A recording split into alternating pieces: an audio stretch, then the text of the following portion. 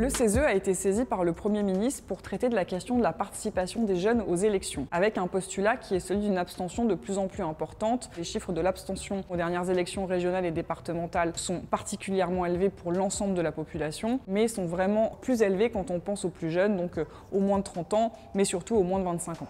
Pour élaborer des préconisations pour lutter contre cette abstention, nous avons constitué une commission temporaire qu'on intitule Participation démocratique, dans laquelle nous avons décidé d'expérimenter quelque chose d'assez inédit qui nous est permis par la loi organique du mois de janvier 2021. Nous avons décidé euh, d'intégrer des citoyennes et des citoyens à la commission, au même titre que les autres conseillères et conseillers. Nous avons donc constitué un panel d'une dizaine de citoyens, majoritairement âgés de moins de 30 ans, pour nous aider à élaborer euh, cet avis.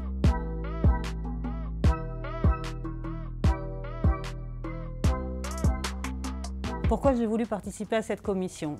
Parce que ça va être, et ça l'est, et c'était forcément obligatoirement très enrichissant. Étant étudiant de 23 ans, je suis au cœur du sujet, ça me concerne vraiment. Je voulais savoir ce qui pouvait sortir de ce travail collectif. Je me suis dit que pour une fois qu'on me donnait la parole, eh bien c'était aussi l'occasion de s'exprimer sur un, un, sujet euh, important euh, pour notre système démocratique aujourd'hui.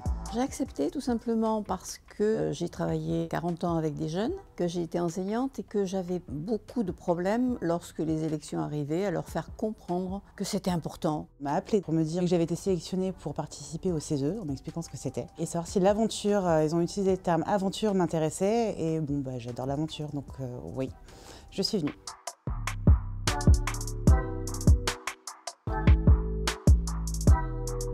Dès le début, dès qu'on est arrivé, on a eu euh, donc des élus, des conseillers qui sont venus vers nous. On a eu ces temps d'échange aussi euh, informels où on a pu euh, justement faire connaissance euh, aussi avec bah, les autres personnes du, du CESE et les autres citoyens.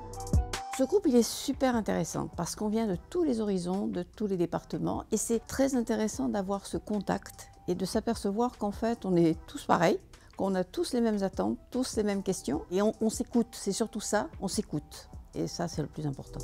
On s'est très vite euh, très bien entendu, malgré qu'on ne soit pas tous d'accord sur plein de points, mais justement c'est aussi ça qui fait la, la richesse des échanges. Et euh, vraiment cette, cette cohésion euh, de groupe qui s'est instaurée, elle est vraiment à, à souligner.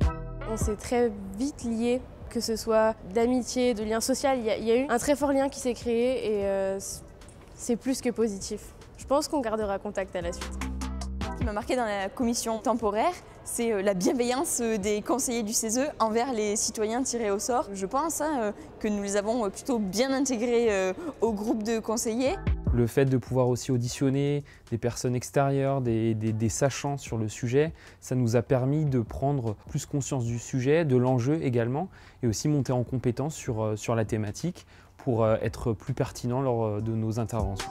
Nous avons notamment auditionné euh, des chercheurs, des enseignants en, sociologie, des chercheurs en sociologie. Nous avons auditionné euh, aussi euh, des représentants des pouvoirs publics, des représentants des milieux associatifs de la jeunesse et également des jeunes dans les quartiers nord de Marseille. De sorte d'avoir, disons, un panel d'audition, un panel de points de vue suffisamment vaste et varié possible pour apporter des billes à notre problématique.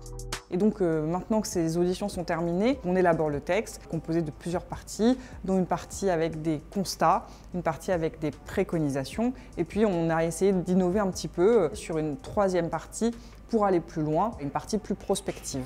Une des préconisations vraiment importantes qui va, être marquante, c'est le droit de vote à 16 ans. C'est pas une solution miracle, et même nous on le dit, le droit de vote à 16 ans ne sera pas une solution miracle. Par contre, c'est une preuve de confiance, c'est une responsabilité qu'on peut donner aux jeunes.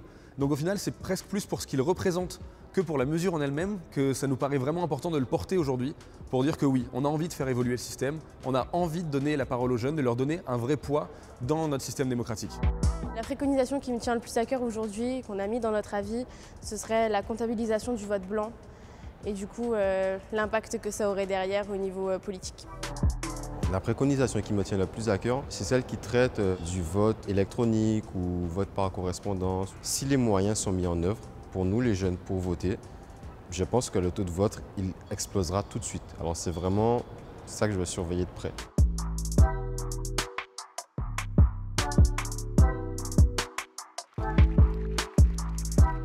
C'était euh, le moment final du vote euh, du projet d'avis qui s'est enfin transformé en avis. C'est-à-dire qu'aujourd'hui, le CESE a adopté nos préconisations, a adopté les constats qu'on a faits pour qu'enfin on puisse aller le porter euh, auprès des décideurs, auprès des équipes candidates, et qu'on fasse maintenant vivre la vie dans la société. Je crois qu'on a vécu un, assez beau moment en fait cet après-midi. On a eu euh, plusieurs temps, en plus des temps euh, classiques de présentation de la vie, de déclaration de groupe. On a organisé une table ronde avec les citoyennes, les citoyens qui nous ont euh, voilà, fait un retour d'expérience. Je pense que c'est quelque chose qui a fait beaucoup de bien au CESE, de se confronter directement à des citoyens qui ne sont pas habitués au travail qu'on fait, qui ne sont pas habitués à nos méthodes et qui aujourd'hui, au final, sont extrêmement satisfaits, sont motivés, ont envie de porter la vie, ont envie de contribuer à la vie de la vie une fois qu'on l'a voté. Donc euh, aujourd'hui, j'ai envie de dire, euh, c'est euh, très réjouissant et très encourageant pour la suite. Pour moi, le CESE, il est là pour ça, pour ouvrir le champ des possibles et, dire il faut qu'on gratte un petit peu de ce côté-là, il faut qu'on gratte un petit peu de ce côté-là pour voir si ça ne peut pas faire changer les choses et, et pour le bien de tous. Si on part d'un avant et d'un après, je suis arrivée au CESE, j'avais jamais voté de ma vie, j'ai que 19 ans et ça ne m'intéressait pas trop, je vous avoue. Mais euh, maintenant, euh, je pense que je suis prête à faire la part des choses, à vraiment m'engager à voter et m'engager dans la vie citoyenne, essayer d'approfondir et de chercher à faire bouger les choses. Faisais partie des gens qui ne votaient pas. J'avais perdu euh, toute foi au pouvoir public.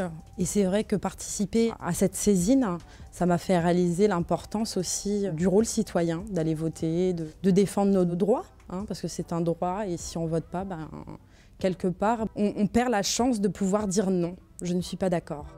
Rétablir ce climat de confiance des, jeunes envers les institutions, ou même les renouveler, ou les moderniser, ou les rafraîchir, euh, tout ça pour euh, justement favoriser euh, leur avis et leur intégration, ça me paraît être aller dans le domaine du possible et, même plutôt convaincant pour la suite.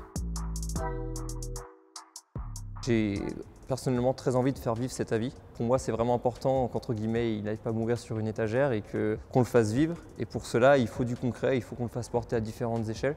Donc là, on parlait d'échelle très locale, on parlait du niveau éducatif, mais aussi peut-être aller euh, entre guillemets plus en haut, sans connotation, et d'aller peut-être aussi au niveau des parlementaires, puisque finalement c'est aussi eux qui votent les lois. Si on veut du changement, il faut porter la vie, je pense, à tous les niveaux possibles finalement. Pourquoi on ne sera pas, nous, avec tout ce qu'on a comme information, comme connaissance, tout, pourquoi on n'essaye pas de euh, qu'on soit des, des ambassadeurs de la CISE, chacun dans son département? D'avoir ce regard nouveau sur nos travaux, sur euh, l'organisation de nos commissions. C'est quelque chose que j'ai vraiment apprécié et, j'espère que cette expérience servira de modèle en tout cas pour, euh, pour des prochaines euh, commissions temporaires. Le fait d'intégrer des citoyens directement dans une commission, c'est une véritable plus-value pour les travaux du CESE.